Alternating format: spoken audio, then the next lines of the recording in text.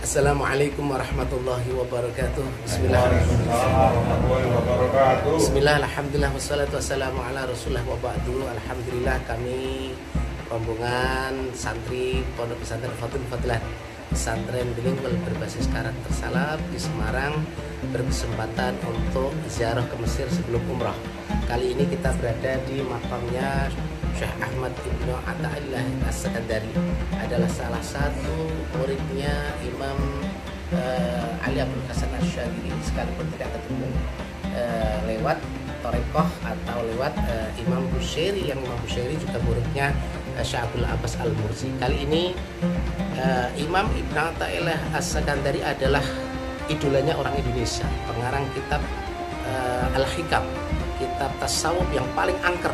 Dan ini pasti pesantren salaf yang besar maupun kecil eh, selalu wiridan untuk mengkaji kitab ini. Karena ini adalah kitab hikam kitab tasawuf yang sangat-sangat eh, dalam maknanya dari ini kita berkesempatan setelah ngaji al-hikam juga bersama santri kita sowan tabarukan kepada makamnya langsung ketemu wajah dan tabarukan di samping makam beliau. Insya Allah kita akan menjadi orang-orang yang hatinya bening kita sekalipun berkesibukan apa pun tapi berproses berprofesi apa pun tapi kita selalu hati kita berada di sisi Allah selalu dan kita selalu menyemayamkan Allah ada di hati kita.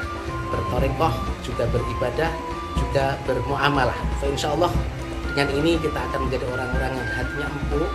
Doa doa doa doa kita dikabulkan dan insya Allah pada kesempatan yang baik kita akan sini lagi.